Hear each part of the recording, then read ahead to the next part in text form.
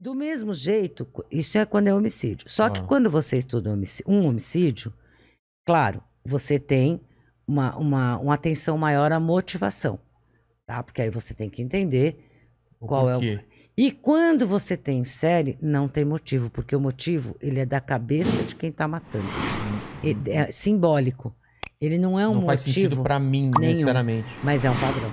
E aí você tem que descobrir o que relaciona aquelas vítimas que não é um padrão para você, mas que é um padrão na- em quem tá matando.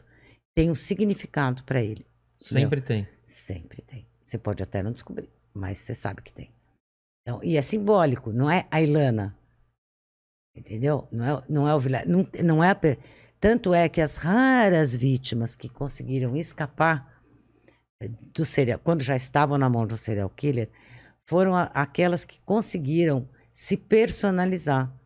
Como assim? Eu não sou mulher, eu sou Ilana. Ilana. ah, sou a mulher do Bebeto, eu sou a mãe do Fernando e do Marcelo, eu sou a sogra da Gra, eu sou a vovó da, do Gabi da Cecília. Aí, porque aí você está saindo daquele lugar, daquela prateleira, aquele símbolo que ele te colocou. É, Mulher a de. coleção dele. a- é, É uma isso, o que coleção, né? representa para ele. Ah, Pode ser um tipo de sapato, pode ser um jeito de cabelo, pode ser um jeito de Caramba. falar. pode ser uma maquiagem. Pode ser qualquer coisa. Pode ser uma profissão. Enfim. É o que está na cabeça dele. Ja- não Jack- é um motivo Jack palpável. Stripador é o, é o primeiro que é, que é relacionado como um serial killer ou não? Putz, cara, não lembro. É difícil. É, ele é bem lá pra. Mas tem É, antes, tem, tem? desde a época medieval. Ah, tem é?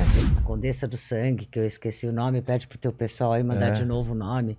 Caramba. Ela que tomava banho na banheira de sangue, bem lá É atrás. mesmo? É. Juntava sangue para tomar banho que rejuvenescia e tal. Então você tem aí. ah, tem antes. Mas é um caso que ganha Mas- uma grande repercussão, a- uma investigação que não fecha, né? Você É. vê que.